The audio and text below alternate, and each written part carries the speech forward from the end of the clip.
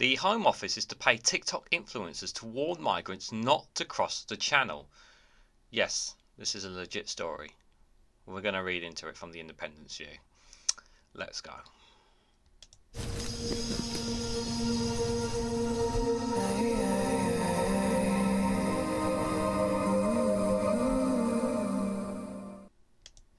Good morning, good afternoon, good evening, wherever you are in the world. This is Reganelite here an article from The Independent with the headline that the Home Office is to pay TikTok influencers to warn migrants not to cross the channel. The government's plans could see taxpayers pay social media celebrities to warn people of deportation to Rwanda. So, guys, while you're here, before I get my initial thoughts, you can hit the like button and share it across social media so others are notified of this video.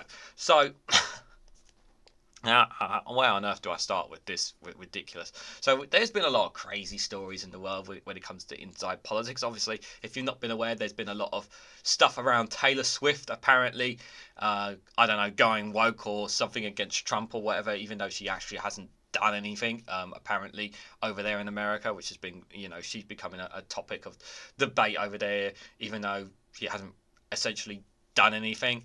Um, there's a lot of uh, celebrities can that can have quite a sway within poli- politics these days. And unfortunately, is that because of the way sometimes uh, the world is going, uh, they're seeing more and more looking at ways to influence people.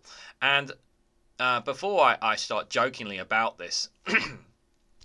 TikTokers really do have an influence on um, on the on on younger audiences.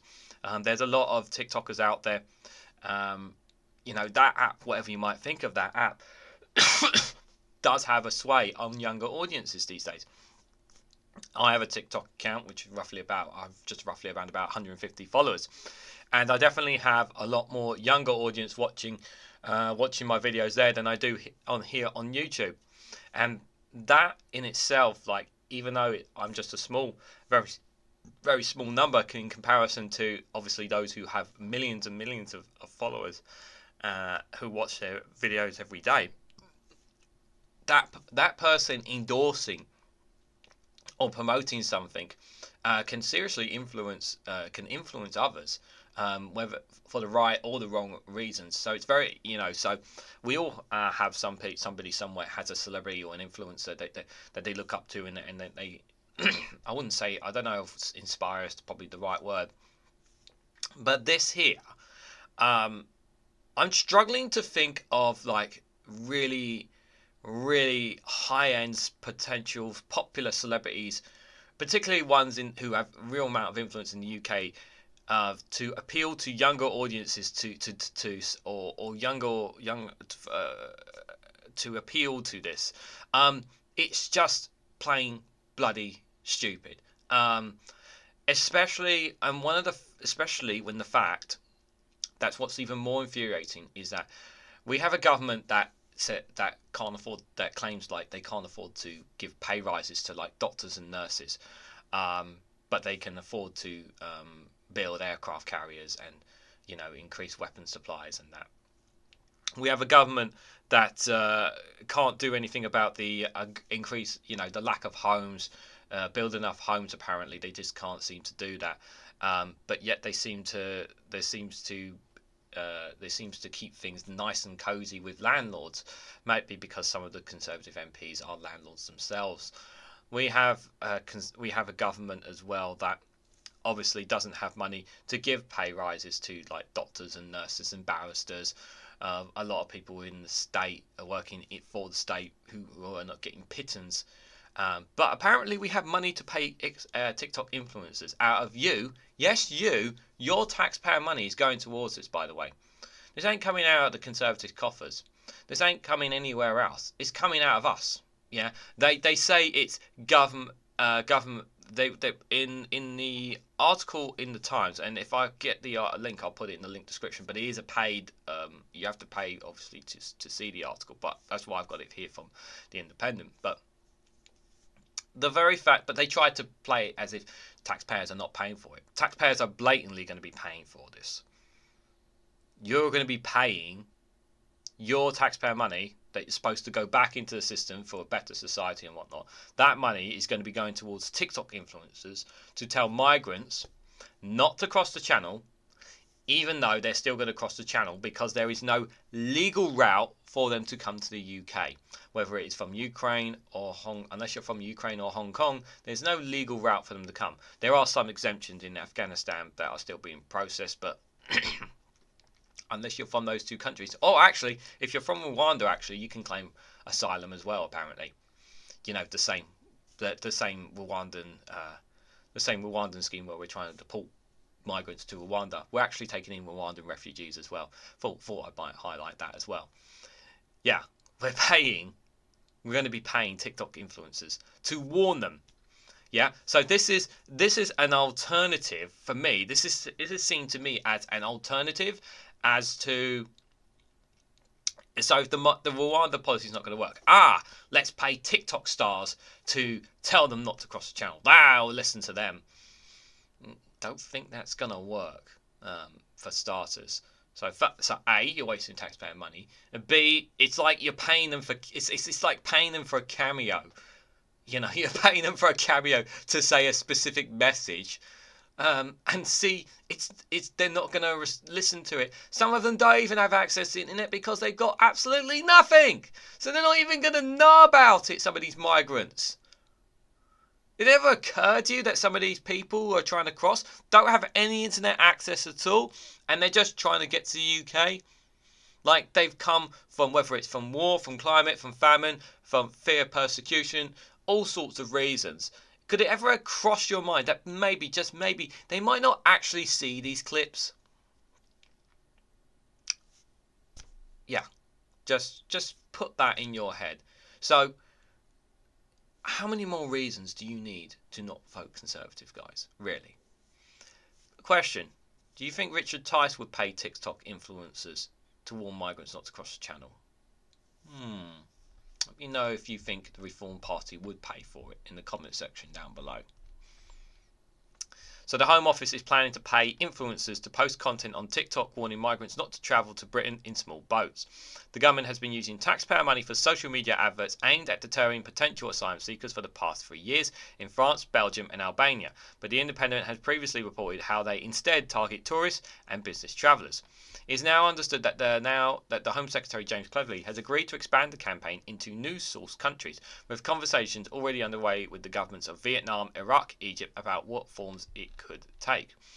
Under this expansion, the government is also, will also seek to pay influencers on sites such as TikTok to warn of the risk and repercussions of travelling to the UK by small boat. It has been drawing up lists of social media celebrities who could be suitable. By the way, the celebrities they'll be looking at are those they will be looking they, they will not be they will be very careful and very selective on people that they will pay to do this as well. Excuse me. It will be very selective. According to a draft plan seen by the Times, these include rappers, chameleons, and TV personnel who could, who could be paid for up to £5,000 to be warned of would-be migrants of removal to Rwanda, with a total budget of £30,000. The Home Office told The Independent the document was outdated and it did not recognise the figures. Yeah, well, they're not going to tell you how much, are they? You're probably going to, you know, if this actually does happen, you're probably going to find out they end up paying more than, than needed. The previous success of such campaigns was unclear. Research shared with The Independent showed the Home Office paid Meta at least £35,000 for hundreds of Facebook and Instagram adverts shown to people in northern France and Belgium between January 2021 and September 2022. Again, I just I just pointed out this is not going to stop them doing it. And some of them who are trying to cross over don't even have access to the blimmin' internet. You're wasting money here. It's so stupid. It is so, so stupid. At least £35,000. I know it's small pittance in comparison to some of the other money, like the 37 billion that was wasted by the government on a test and trace system that didn't work. But it is still taxpayer money nonetheless that's being wasted here. This is a waste of money. It's not going to stop people coming to the UK. It will not. Some reach fewer than a thousand people and others over a million, but the government has no way of telling who is reaching with its weird patchwork profiles of targeted language, home cities, or interests, and was instead just throwing stuff at the wall and seeing what sticks. The University of Edinburgh Dr. Ben Collier. A prior investigation by The Independent in 2022 also found that the Home Office had paid £2.7 million to Hong Kong uh, based firm Seefar since 2016, which conducts migration awareness raising and behavioural change campaign including a controversial government website which saw ministers to seek to deter asylum seekers. So there's a picture here. Seefar is behind website which is now which is now the defunct on the move website which was used in a Home Office campaign to deter channel channel crossings. More than 100,000 people have crossed the channel in small boats since 2018 when the treacherous and previous rare route into Britain's first has started to be attempted in large numbers. At least 64 people are thought to have drowned. Uh, 64 people lives have been lost.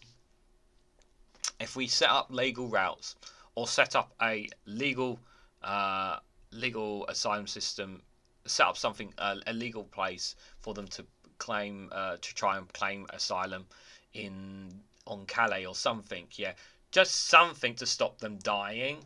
But no, apparently we don't want that. we just want to keep the smuggling gangs in going. While such arrivals fell by more than a third in 2023, nearly 30,000 people did enter Britain that way, making it the second highest year on record, despite the government criminalising such crossings and pressing on with its alienating plans to send asylum seekers to Rwanda as it determined. A Home Office spokesperson said people smugglers frequently use social media to peddle lies and promote their criminal activities, and it is vital that we utilise these platforms to inform migrants about the truth about crossing the channel and coming to the UK illegally. But there's no legal route, so what are they supposed to do? this is the this is the argument that I have. Like you, you don't give them a legal route to come to the UK. That's the problem. You're not going to give them a legal route to come to the UK, then they're going to cross illegally. The relentless action which you have taken cross, uh, reduced channel crossing by 36% last year, which saw similar weather conditions to 2022. We make no apologies for using every means necessary to stop the boats and save lives.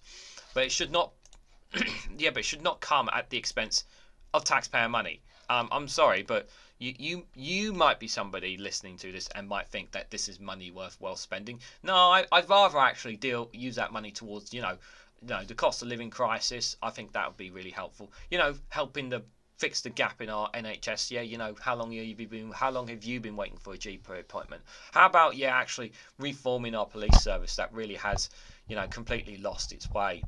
How about that instead? How about doing something about our transport system where trains never come on time? How about something about that as well? You know, how about our education system? You know, how about our education system where we don't have enough teachers and the classrooms are getting bigger and that lack and kids these days are not getting that one to one that they used to do. How about some of the money towards some of these ideas, guys? You know, just just going to put that out there. You you rather waste taxpayer money on trying to influence get celebrities to try and influence people to stop crossing the channel. You would rather waste taxpayer money on that rather than on issues that are taking place here here in the UK. I think that's a very big point, isn't it? You know. So that's pretty much it. You know, if you're gonna, if you know, it's it's not worth the money. That's that's my point. It's just it's a waste of taxpayer money. You know, we can laugh and joke about the fact because it is a joke. It is it is a joke. But what's not funny is that our money's being wasted on it. Um, such as much much more money has been wasted by the Conservative government. Yes, but to be you know to, tr- to to to pay celebrities to basically say don't cross the channel when they're going to completely ignore it anyway what's the point of throwing money at celebrities to do that really